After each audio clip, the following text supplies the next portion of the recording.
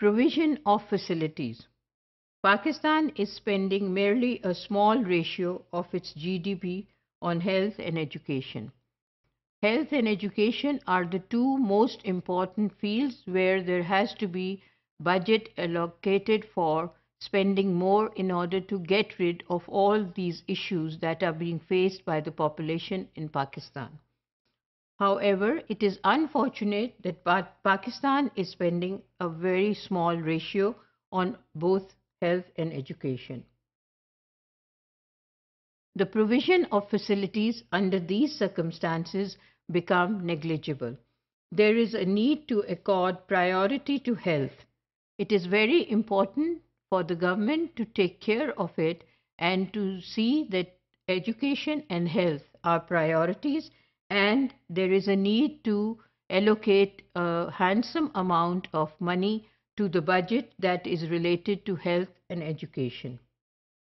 The health of education of the new generations is very important and it should be a priority for the government to take care of it so that the new generation does not face the difficulty of being uh, uneducated or illiterate or be fa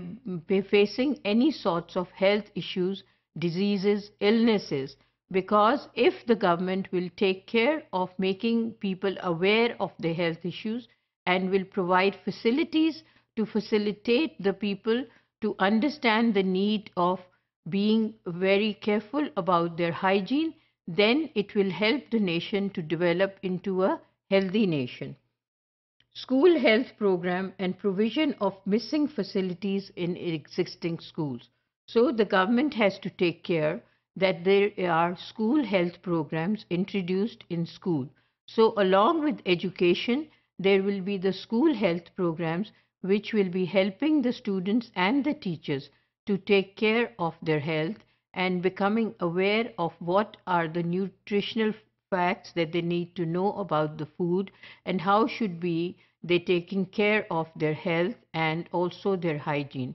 Why would be it important for them to stay away from polluted areas and how can they keep their environment clean? So by both these uh, school health programs and the facilities provided to the schools, it will make it possible for people to take care of their health and at the same time get education and awareness about these matters. So simultaneously, there will be the education program running with the school health program. So people are getting educated, people are getting the awareness, and they understand the priority the need of the time, what is important for them to become strong and healthy citizens of Pakistan, and how to work with a level which is full of energy and power in order to make their projects successful. How will they be able to do that? If they have the energy to do that,